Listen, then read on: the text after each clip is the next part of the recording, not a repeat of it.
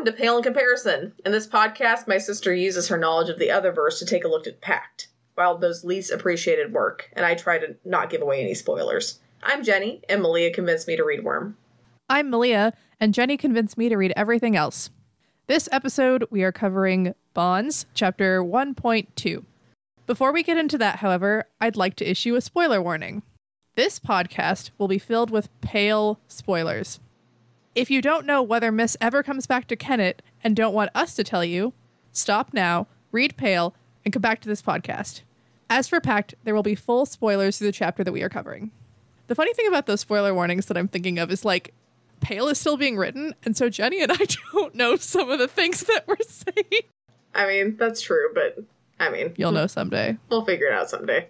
Oh, well, maybe not. You never know. you might never know. Um, but yeah, so we're gonna just go over Bonds 1.2. Should be a little bit of a shorter episode, just because it's a little bit less Action packed. Well, it's super action packed, yes, but um, a little bit less like things to obsess over. Yeah. There you go. Yeah. Basically, we'll start with the chapter summary here and then we'll get into talking about it. Blake borrows a car from essentially the best landlord in the world and heads out with Rose. He tries to get some answers from Rose, but unfortunately doesn't get much information from her. A spooky figure in the middle of the road seems to tamper with the car and it breaks down, so they have to proceed on foot. After a suspenseful chase and almost falling through an icy pond, Blake makes it to safety.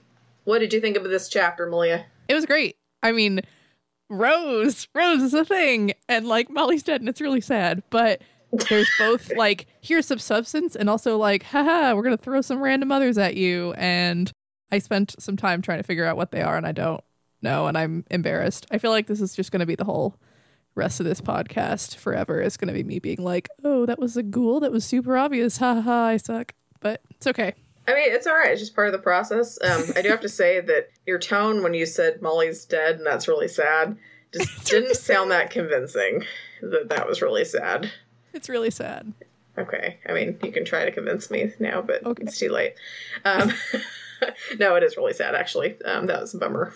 Anyway, well, I'm going to go ahead and start, or go ahead and break this apart piece by piece. So we start off by Blake running down the stairs, basically trying to wrap his head around everything that's happening. So he's thinking a lot about the dream and mostly like Molly. Mm. That's quite a terrible thing to wake up to.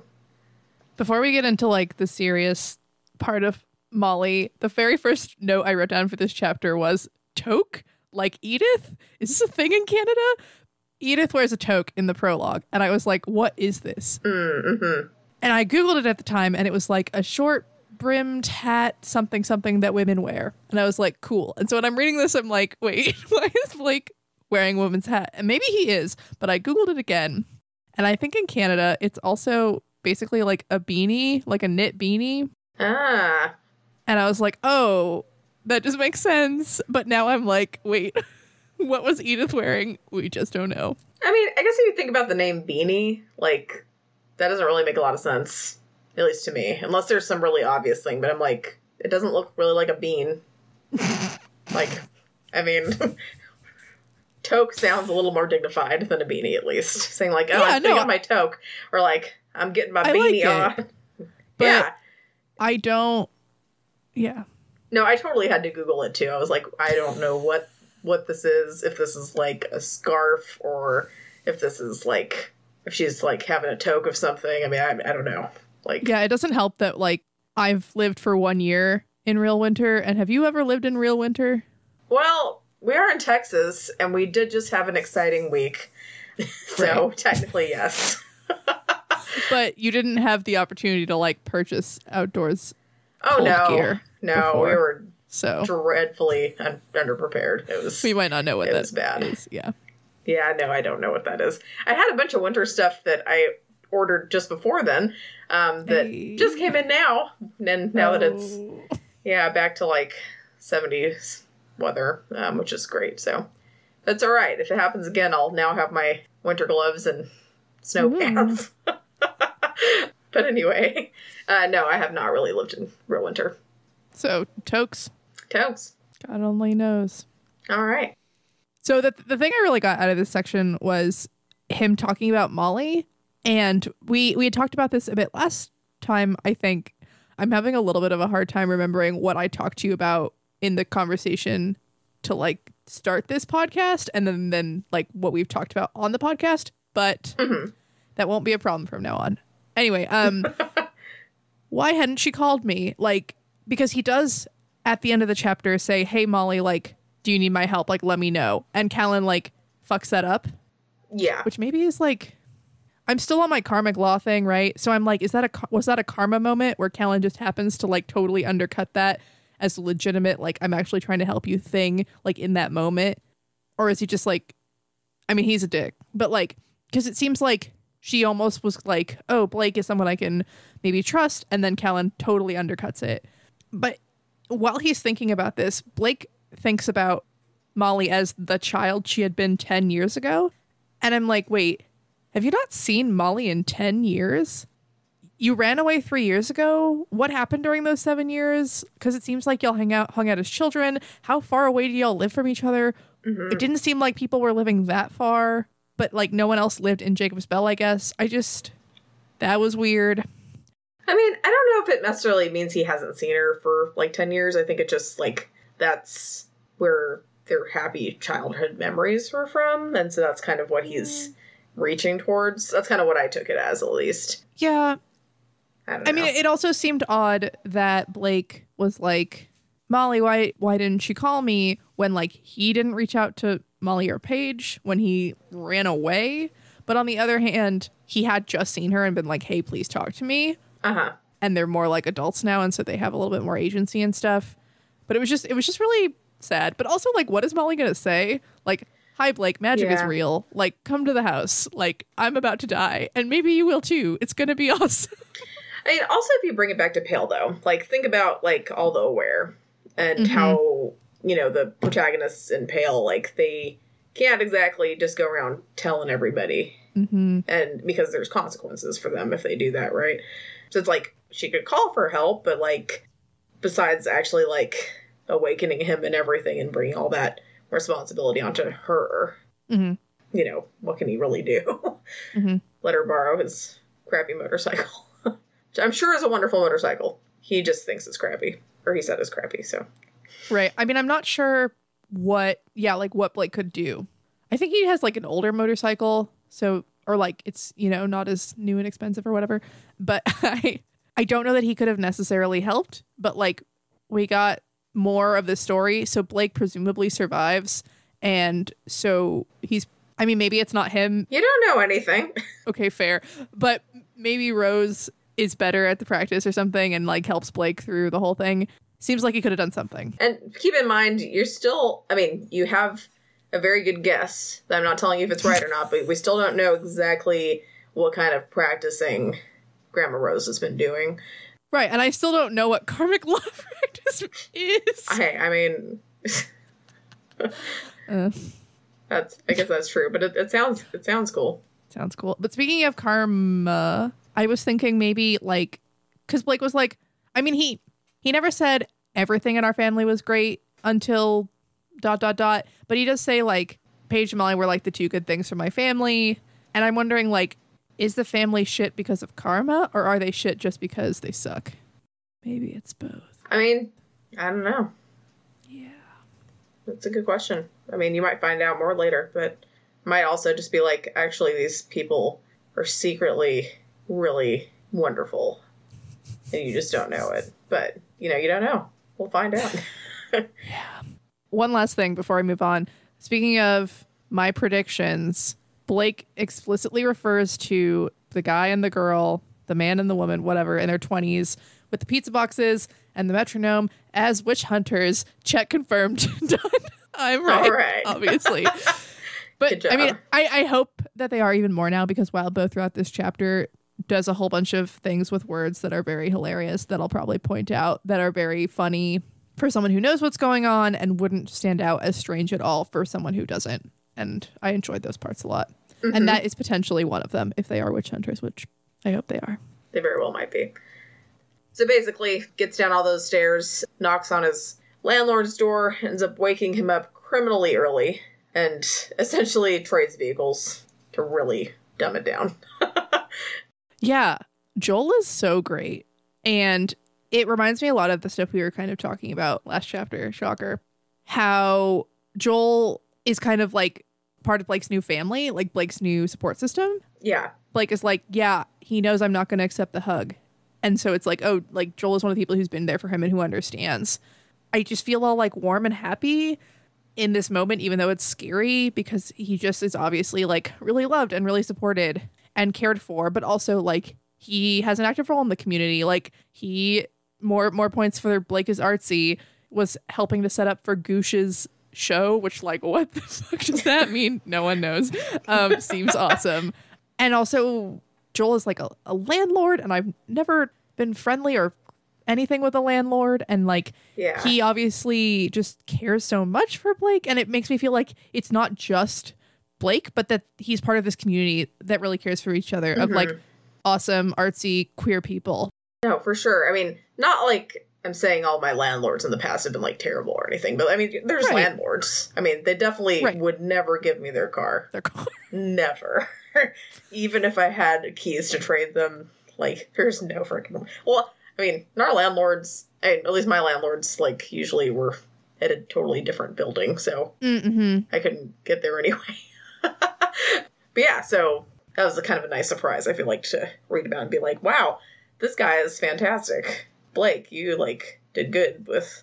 Well, because especially because he's like he runs up to the door and it's like I knock on my landlord's door and it's like Like, what, the hell and are then you it's doing? like and he's really annoyed and it's like I need your car and I'm like what? like, why, do- why do you think this is going to work?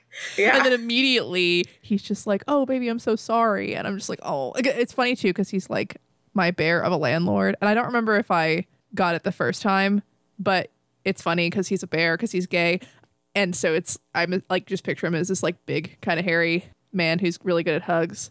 Because I was like, "Oh, is he?" And then he's like, he calls him baby.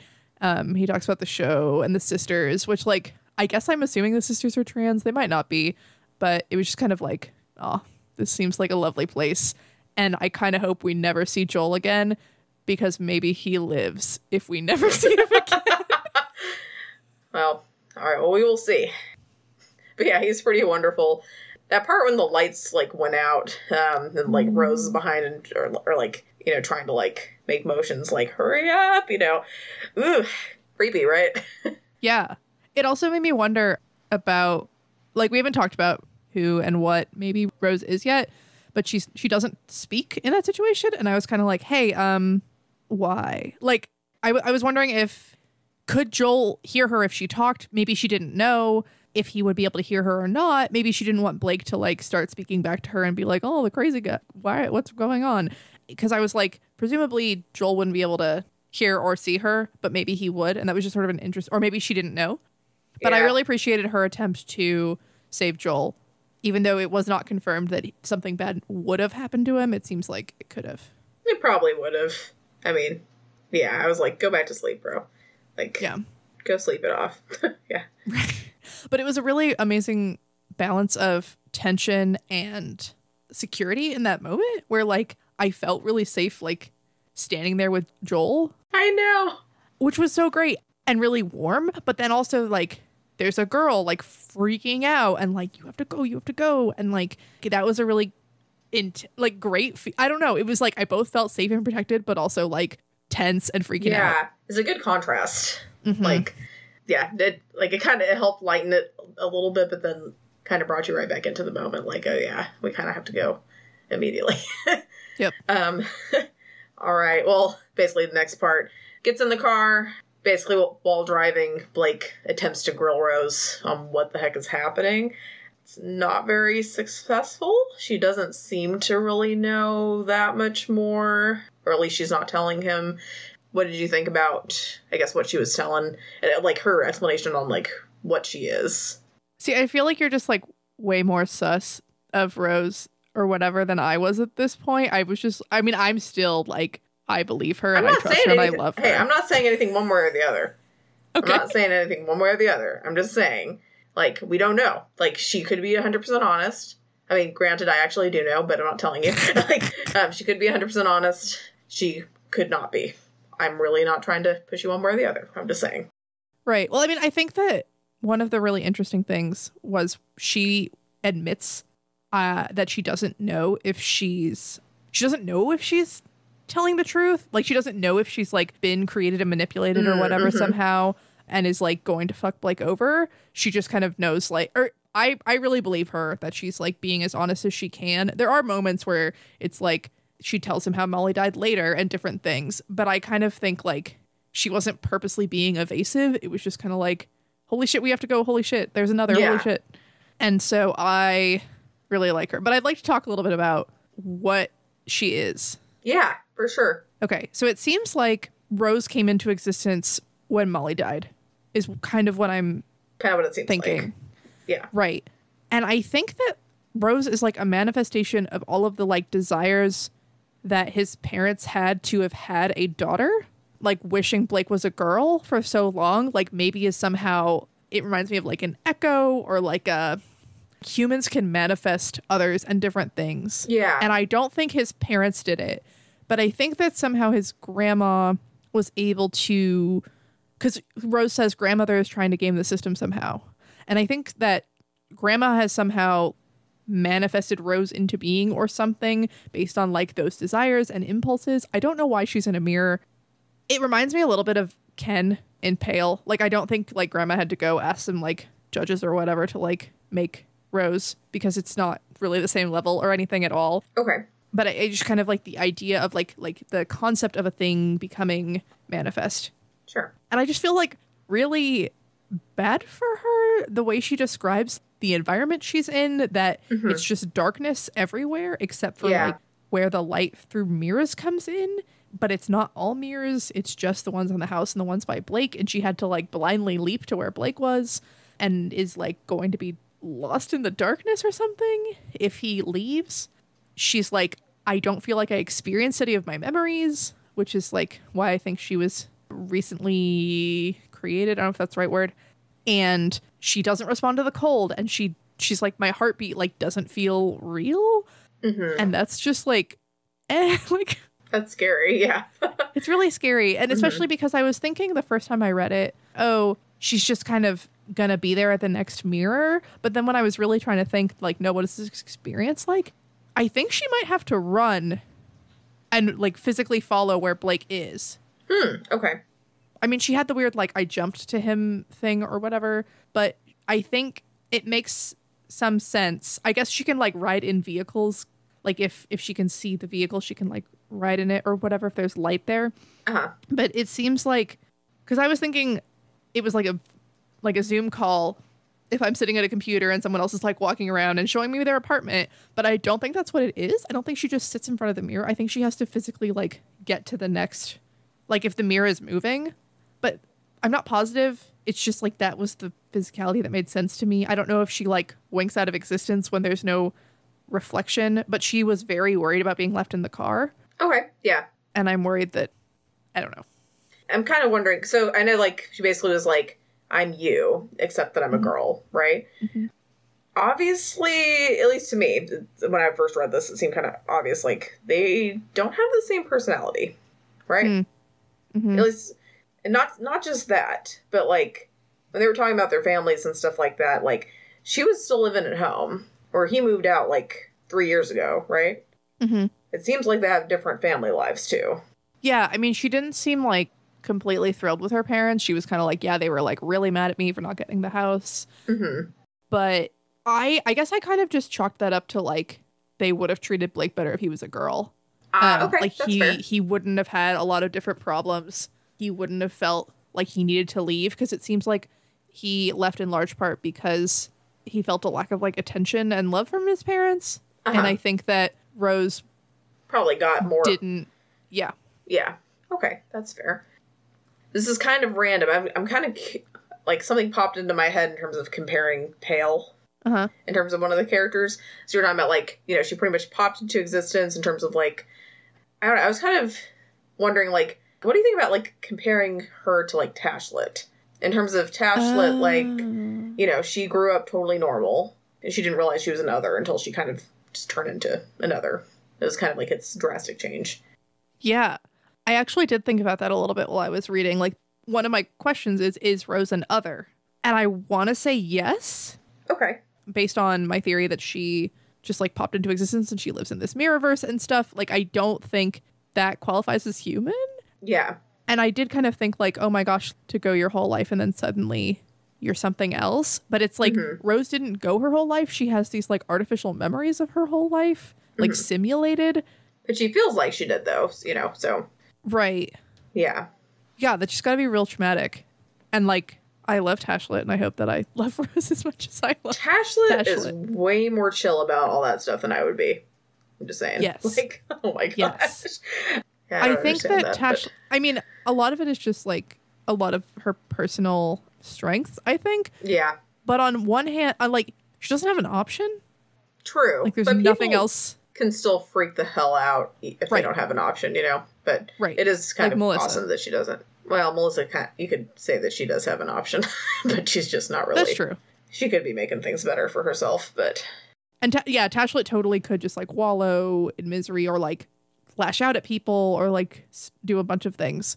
yeah, But I, I think she's decided that the her best way forward is to just kind of like accept what's happening and then hmm make the best of it. exactly. And so I guess we'll see what Rose does. And I don't think Yeah. she's like not insinuating she's going to wallow or anything like that, but it is a big like a big change. Right. Well, so I was thinking when you were formulating the question that you were going to talk about Snowdrop because Snowdrop, Hmm. I mean, Snowdrop the possum still existed before the Forest Ribbon Trail, but was kind of like True. manifest into existence as Snowdrop as a combination of like Avery and it seems like Rose. I mean, maybe Rose isn't a lot of Blake. Maybe Rose is just she doesn't come from who Blake is now. She comes from like what could have happened if Blake had been Mm. raised differently. Okay. I thought that was interesting. That is interesting. I'm not gonna lie, I didn't think about that, but that is possibly a better fit, or at least just as good of a fit.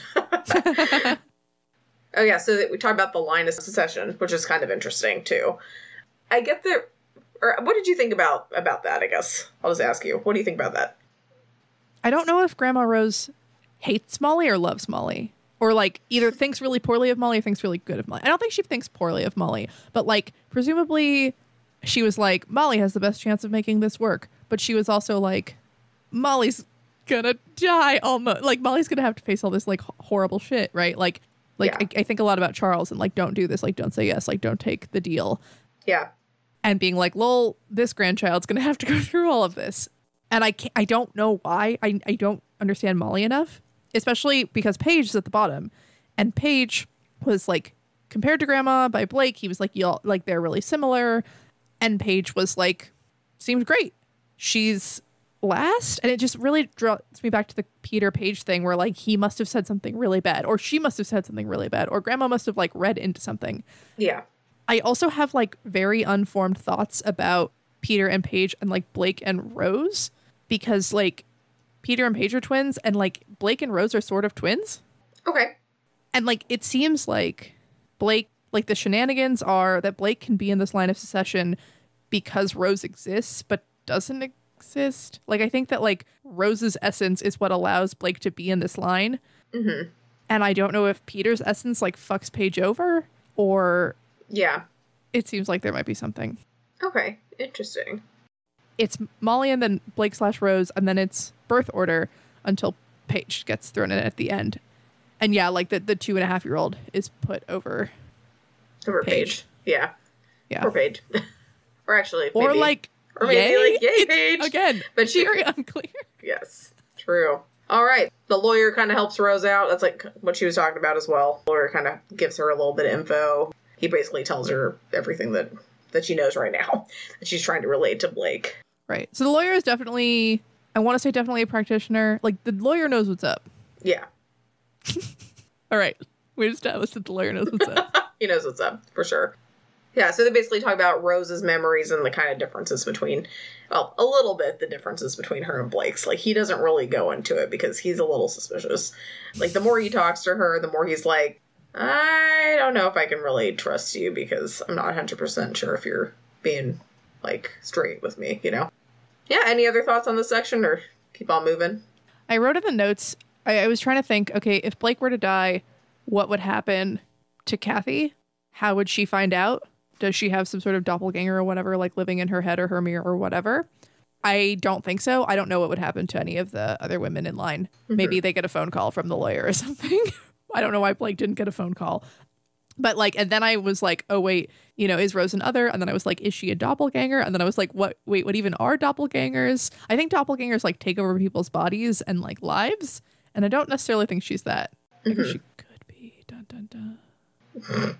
She's not being very sneaky. Yeah. I really, I really hope she gets out of the mirror and like becomes manifest as a full person and lives a nice life because I like her. I like everyone named Rose in this story.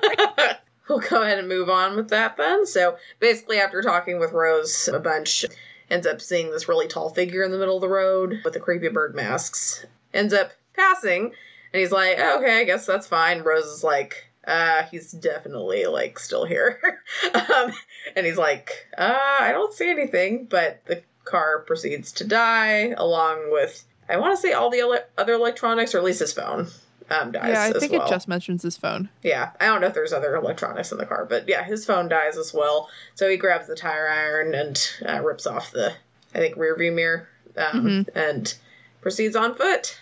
This was intense and great.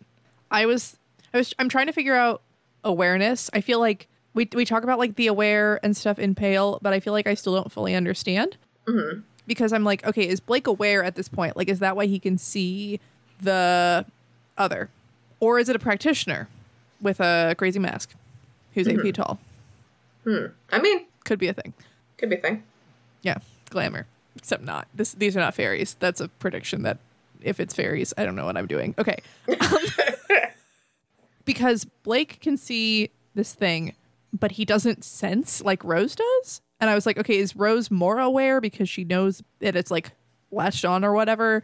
But then maybe her like super other powers allow her to know things like that because she's like, oh, I knew that something bad was in the the apartment building or whatever. And so I don't know if that's like the sight for like mirror people or like I yeah, I can't tell if she's a normal aware and Blake isn't or if Blake's a normal aware and she isn't or what. But I spent some time trying to figure out and have a good guess for what this other is. I don't I I think it is another. I don't think they're practitioners. I don't think practitioners would necessarily be eight feet tall. But also, um, the way they describe the hands is really creepy. And um, I also think that a practitioner wouldn't follow directions as precisely for as long when it was like not necessarily going to work anymore, like they do at the pond, presumably.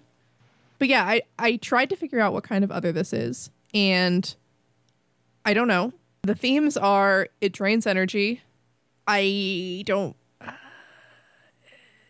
Maybe it can suck your life away. I just I was like, um, what sort of like manifestation of draining energy? Because the gas and then the the phone battery, right? But then the long cloak is like a bunch of tanned skins, which is gross True. or maybe not that gross. I don't know. And then the bird skull and the antlers. I'm like, okay, so there's like some like wild foresty, scavengery, predator e type vibes. Mm-hmm. It kind of reminds me. I don't remember the descriptions for these. Avery fights the things in the ruins, the incarnate things. Did one of them have like an antler skull or something? Okay. like the hunt, like hunt or something. This they they don't act like that, but maybe that sort of vibe. I almost thought you were gonna be like, oh, it drains energy and stuff, so it must be like some kind of tech thing. oh. No, I no, I didn't think so. Um, I'm assuming there's not a lot of technomancy in this book, and I'm assuming there's not a lot of Oni, if stuff? any Oni in this book, because there's a decent amount in Pale, which is probably I dumb. mean, Because I assume there are a lot of fairies in this book, and a lot of goblins, but why is that? I'm just curious. Like, that's kind of interesting. People seem to have opinions on fairies and goblins. Mm, and they didn't People have. didn't seem to have opinions, especially on Oni, but also on like technomancers. Okay. Because sometimes I'm like, maybe it's Oni, but like I don't think Oni are really going to be in this. I could be wrong. Okay. Sorry, everyone. Interesting. Uh, It's okay if you're wrong. I mean, what are they gonna do? It's fine. You're gonna be like, uh, she doesn't like, know oh my things, gosh, she doesn't. stop listening. She didn't read the book, and so she doesn't know things. Yeah, it's fine. It's all right. Okay. I mean, they'll they'll get over it. You know. I mean, if they don't, then they probably should talk to someone because that's kind of a Mm-hmm. weird thing to get stuck up on. But anyway. um, Um, before we leave the section, I was yes. thinking a lot.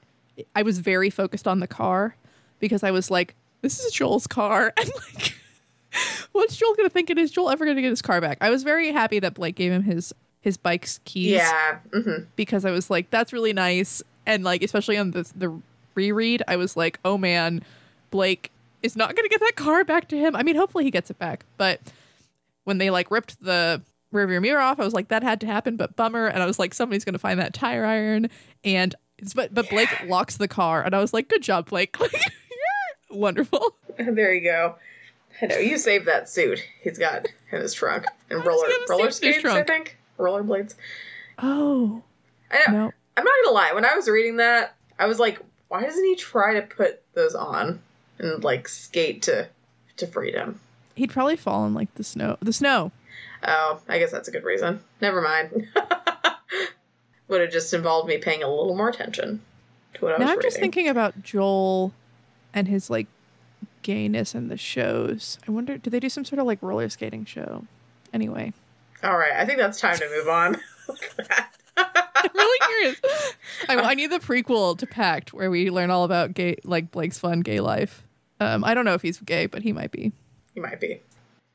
So Blake ends up getting chased. Starts off by that one creepy bird dude who catches up. Basically, makes it seem like either wants him to get hit by a car or go get lost in the woods and freeze to death. And so Blake ends up going into the woods because he's like, I basically can't just sit still and do nothing. I have to act, have to run, do something. Ends up that I believe a total of four of the creepy bird people show up. Um, one of them has like three masks, gets cornered at this icy pond. It's really creepy because the guy with the three masks seems to have a mask just for Blake, whatever the hell that means. Basically manages to break the ice and topple those couple of those bird people in there with Rose's help, and then he makes his way to safety after that. So Blake did real good. Blake did, yeah.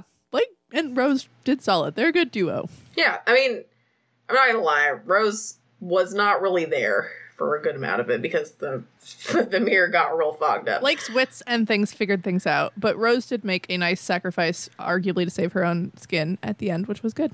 yeah, no, that was good. I, I felt kind of frustrated with Rose when I first read this. Not very fairly, I gotta Okay, admit. tell me, tell me more. I mean, okay, and granted, I know this isn't fair because if I was stuck in a mirror, scared to death, I probably would be acting exactly the same way. But just, you know, Blake, you can tell he's all about action. He's like the one trying to do all this stuff. I feel like Rose, she's kind of stuck. You know, it's not like she can be out there doing all that stuff, but a few times she would say things like, oh, like, you have to have a plan, or like, if you're going to Mhm. move. And he was like, well, do you have any fucking ideas? And she just, like, didn't say anything and was like, you know, I know what you're saying, but since he's obviously in the more precarious situation, at least, like, in the immediate, like, we don't know what's going to happen to her if he dies, so it might be just as bad. But you'd think she'd be trying to come up with a few more ideas or just something. She definitely did step it up when she broke helped to break that that ice for sure.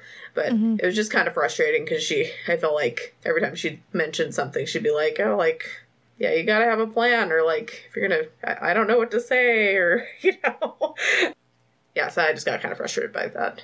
Yeah, that's really interesting, and I I get what you're saying. Now that you've pointed it out, I think I just Mhm. like related really hard, where I was Yeah. like, "Yeah, Blake, you need a plan. Like, you can't. What are you doing?" As a reader, I was like, "Yeah, Blake, go." But as like a person, I was like, "Yeah, like what the fuck?" Like, like I wouldn't. I mean, maybe I would. I've never been in a situation like anything near like that. Um, but I really related to the freaking out and stuff, and I guess the like her not telling him some things and not contributing as much wasn't proof of her trustworthiness. Mhm. But I think that she's overwhelmed. She Yeah. doesn't even necessarily know what is important in the moment or what's not important. And I think that like the, the things that were great, they seem to kind of actually work well together Yeah, because Blake's like, this is like, tell me a direction. Like, this is what I need. true. And she just, you know, she does it. And he's able to kind of snap her out of her panic and maybe inspire her to break the ice or help him break the ice. But I think that Blake is going to get into a lot of bad shit because he doesn't sit down and think things through. And I bet it's also going to save his life a bunch, like it does here. Mm-hmm. And I, I, I get what your question was earlier that they have strong personality differences. But to me, this Yeah. is like Blake is a deeply traumatized person. He doesn't want people to touch him. He doesn't, whatever. And I'm assuming that a lot of that has to do with like the three years since he's been home and also like the lack of love he felt from his family. Sure. Yeah. So I think, again, like Rose hasn't had these experiences and is like coming from a much more privileged place than Blake is. Mm-hmm. Weirdly, because she's in a mirror. And, Well, yeah, but but yeah, I, I think that that was really interesting. yeah, no, it's definitely really interesting. He lost his scarf, which was very sad. Oh, that was sad. Um, he also loses his toque. R.I.P. toque. That's even more tragic because we need we need tokes. I mean, you know, I mean, lose Yeah. both. That's just really like not cool. no. Also, interestingly, just like a lovely little tidbit of info, um, just to really raise the morale while they're in this like precarious situation. You know, Rose mentions that Molly was clawed to death, Oh Um, which also just oof Oof. makes it so much worse than I mean, not I mean any kind of death is bad, but you know, clawed to death and being partially eaten, that's not a great That's way real to bad. go. That's real bad, yeah. That's real It- bad. Yeah. I mean, and just like how scary it is and how she must have been like chased and how like how scary this is, but Blake has figured out some ways to not get attacked, whereas Molly just straight up didn't have that. And she probably knew more about like what was chasing her than Blake does at this point, and like that was also probably really scary. It just like so scary and violent and painful and awful, and I'm really sad. Yeah. So, do you think it was the same thing that like is chasing him that got her, or like No. no? Partially because I think one of them mentions like these don't seem like the type to eat you. I think Rose mentions it like that or something. That's right. I kind of think that the people we saw in the vi- in the dream visions and Mhm. possibly other people are like sending others and different things to try to kill whoever's in the house to try to establish a better claim. So I think that the whoever managed to kill Molly isn't actually the people who have found Blake okay.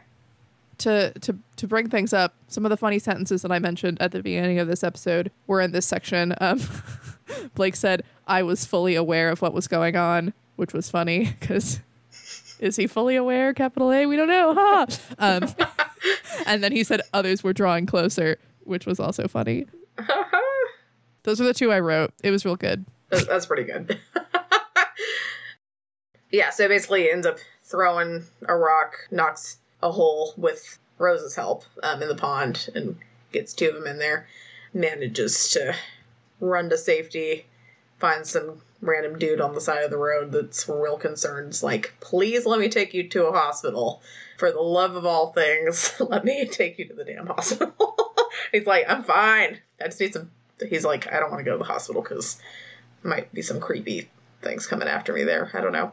Yeah, I was curious about that because Blake kind of understands that these others maybe won't attack him when he's around other people. And I was kind of like, in a hospital, you're going to be around a bunch of other people. But he has a very good point where, like, in a hospital, especially depending on the condition he's in, it might be much more difficult to run away.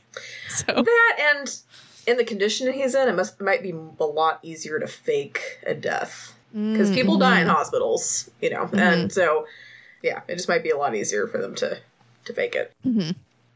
I don't know if he came up with that excuse or not, though. What did he say? I don't think he mentioned that specifically, but that is a good point. That's a good point. Yeah. Although, yeah, hospitals are good in general, people. So. Pro hospitals, Pro. Pro vaccine. Yes, pro vaccine.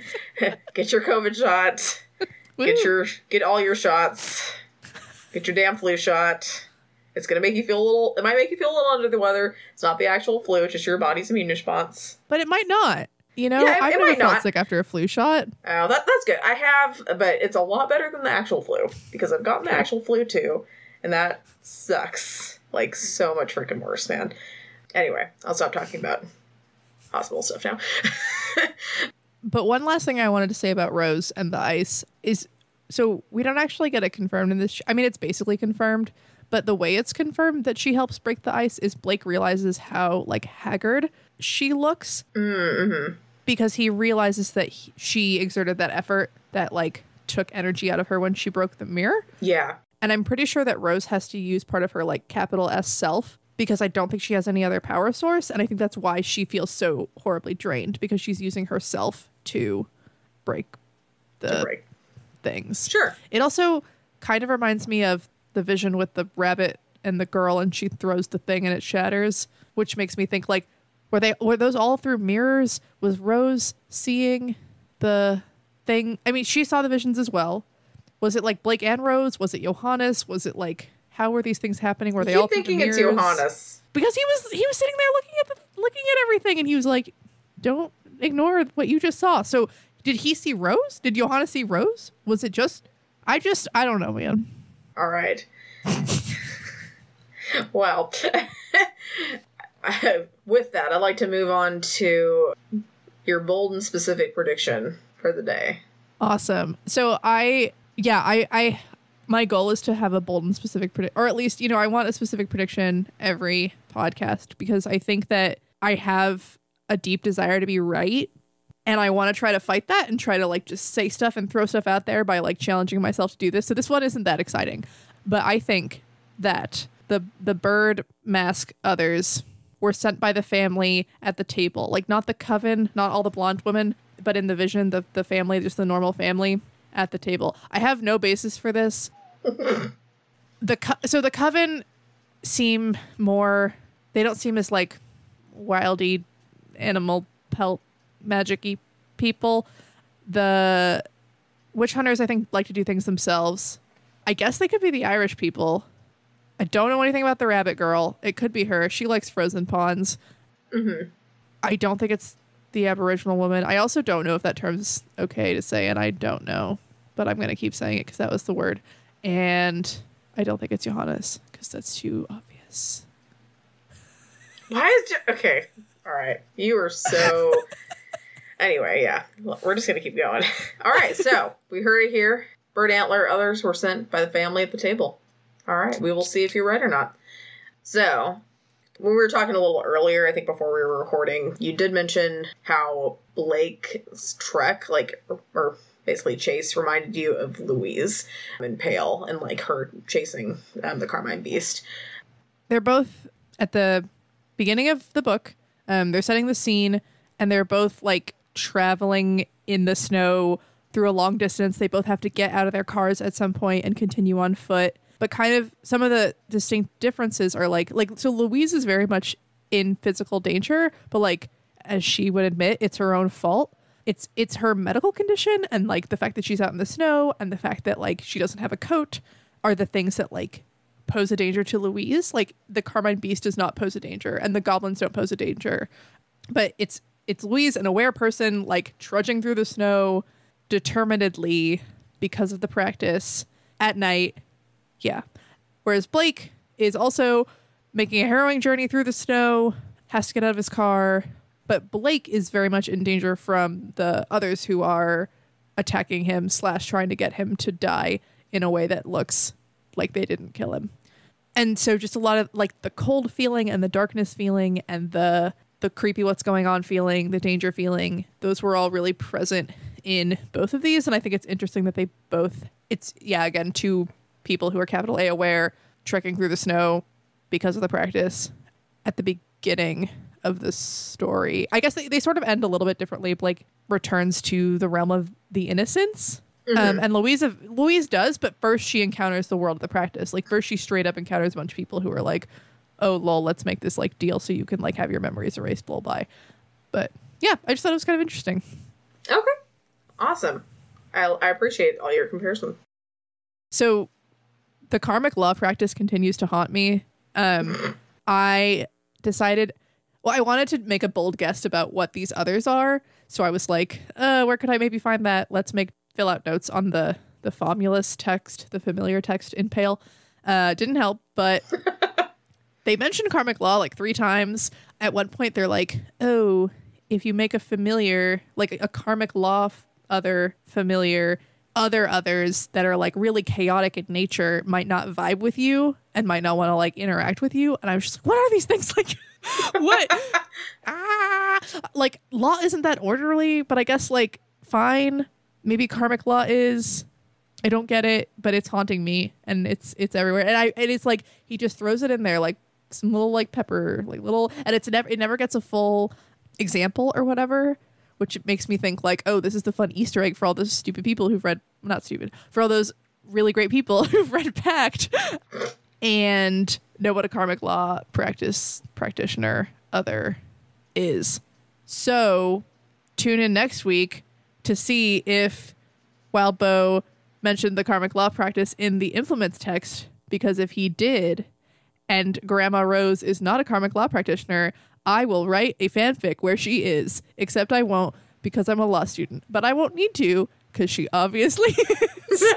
slash was. All right, um, now that we're done, uh, before we get into this discussion question part, we just want to say thank you so much for everyone being so welcoming. Basically, when we put the Reddit thread up and we joined Discord, we honestly, not like we expected people to be mean or anything, but we didn't expect quite such a warm welcome. So, Mhm. um, thank you guys. We're really excited to be doing this and glad that so far you seem to like what you're hearing. Yeah, and we especially want to shout out and thank um, everyone at Doof Media. As most of you probably know, they do a lot of like Wildbow podcast content, and we asked them for advice early on. They were super welcoming and super helpful, and they even gave us a spot on their Discord so that people who like their podcasts can like learn about our podcast. If you're interested in joining their Discord, you can go to doofmedia.com slash discord but yeah, it's a free open Discord, and you should really check them out if you haven't. They're great. So, going back to our discussion question for the previous week, just as a reminder, it was how would you compare your first impression of Blake's family with your first impression of the Pale protagonist's families? So we got a few good, really good responses. A lot of them were pretty wordy, so we're not going to go through all of them in entirety, but they're all really good. So if you're interested in reading up on seeing exactly what each of these users said, go onto Reddit and go to I don't remember what it was called. Basically, New Pact podcast. it's our discussion thread for uh, last week. Anyway, our first one we'll go over, um, and again, I apologize if and when I mispronounce these usernames. It's going to happen. I'm sorry. Misi1 basically says Pact throws us into the deep end. So compare Pale to each of the three protagonists. So for the Kelly family, feels like they struggle to keep up with who's who, just like the Thorburn family. Um, with the Avery's family, I feel like it's somewhat intentional since they're basically designed to overwhelm her and cause her to slip through the cracks. On the other hand, the messiness of the Thorburn family felt more designed to evoke chaos rather than overwhelm. Then they point out they're a shit family, um, the so they're worth comparing to Verona's. It takes us a while to fully appreciate how shit Brett is and to find out how shit her mum is. Whereas in this first chapter, the Thorburn family are impressively upfront and public about being fuckwits. I suppose there's something to be said for the Ellingsons, Lucy's family, being as good as the Thorburns are bad right from the get go. Pretty good comparisons there. Um, but Tisserwet says that the biggest difference between the families in Pacton and Pale is how they reflect the protagonists. So the Kenneteers families emphasize the different parts of being a child. So Verona emphasizes being powerless, Lucy emphasizes being cared for, and Avery emphasizes like being overlooked. Whereas on the other hand, Blake is an adult. And maybe he even kind of became independent before like he was legally recognized as such but he's coming in as an outsider into like this situation and so he has power because he's not like constrained or beholden to anyone but it's also a weakness because he doesn't have these like relationships that would support him so kind of like the Kenneteers as children and Blake is kind of an adult is is an interesting uh, comparison that Tisserwat really drew out. Mm-hmm. Let's see. Next, we have Ace of Swords. They basically choose to compare the Thorburns with Verona's family, which makes a lot of sense. but um, they basically say Brett didn't come across as badly in his first impression, or at least as badly as we find out that he is later on. Um, whereas the Thorburns definitely show you exactly how crap they are. so Ace of Sword goes on to say, I've met several people whom Brett reminded me of. Hardworking people raised by hardworking parents at a time and in a place where there was hard work all around and everyone had to contribute. And now that they're older, it just seems obvious to them that all the work should be done all the time. However, we find out Brett's not actually one of those people. He doesn't think hard work is normal. He just thinks it's a sacrifice that should be praised. And he's willing for Verona to be doing all of that. All right, and then knowledge underscore nomad talks about how the first chapter of Pact makes it clear that family relationships are going to be a really big deal for Blake and kind of make you wonder why they're such assholes. Whereas this is one of my favorite comparisons I've thought of, um, or that I've heard. I hadn't thought of it. That Brett feels more like the Dursleys before Harry gets his letter in Harry Potter with all the chores and like that sort of abuse. It was kind of really interesting comparison, I thought, but talks about how the the seeds of something darker, this darker relationship, are planted, and how Miss kind of works as a like mother figure for Verona in particular, um, and in like an escape route. It's really interesting. Mm, yeah, I like that too. um, and last but not least, we have the the vampire. So they basically talk about in Pact, see how mysterious the Thorburns were in the first chapter. They, you know, we didn't really know anything about the other verse um, when Pact first came out, so didn't really know what the heck was happening. so yeah, in Pale, the protagonist's already been introduced to the existence of magic by Miss, but Blake is capital I innocent, and the odd things surrounding Grandma Rose is in a way tied to his family, but he doesn't really uh, get that anything supernatural is going on in the beginning. Basically, the Thorburn family and what Pale Readers recognize as other verse shenanigans are connected. Anyways, yeah, this was a pretty interesting discussion question. I think we got some really good responses from that. So thank you guys so much for giving us your input. and We'll keep trying to give you more interesting food for thought, at least when we can think of a good question. yeah, and like we have said previously, we don't really know what we're doing. So if y'all have feedback for this segment and how we could um, improve it, do you want more? Do you want less? Just let us know nicely. I mean, if you like hearing us fumble awkwardly over, you know, usernames and stuff, then I mean that's kind of funny too. So that's fair enough. We'll keep it going. Like we said, we really appreciate all of your enthusiasm and support for our podcast, and we want to shout out the people who take the time to engage with it in this way. So thanks, y'all. Thank you so much, guys. Anyway, let's move on to our discussion question for the week basically, we want you to rate Blake's survival skills. You can use a well, one to ten, or I mean, it, we're not being real strict on yeah, on you here. whatever metric you think is useful. Whatever you feel like using, you can use like, you know, like three squirrels out of I don't know, twelve squirrels. You can say how many days he would have survived um, if he was in Gary Paulsen's The Hatchet. Mm, that's a very random, but I like Blake it. and Brian swap places. I think his name was Brian. I, am pretty sure his name was Brian. Wow, that was back in the day. That was a, that's a hatchet reference, everyone. Also, as part of the discussion question, if Rose was physically there in his place, how do you think she would have fared? Do you think she would have done just as good, better, died immediately? What do you think? Rude. Let us know. and also, you can maybe talk about. Okay, you don't have to do this at all, but I was thinking, what if Rose wasn't there to help Blake? Slash, what if just Rose was there and Blake wasn't there to help Rose. But you don't yeah. have to do that. You can think of as many combinations about that as you want. Just like, you know, anything that feels like it just inspires you to talk about that, just go for it. You know, we'd love to hear it. Thanks for listening, guys. If you enjoyed this episode and you'd like to help support the podcast, please subscribe, share it with your friends, and leave a rating and review. Preferably a good rating, but you know, can do what you want, I guess. You can follow us on Twitter at Pale Comparison or send us an email at paleincomparisonpod at gmail.com. Also, keep an eye out for our Pale in Comparison Reddit thread where you can answer that discussion question and any other thoughts you have about this episode. Did you know that plants, like humans, can run a fever if they're sick?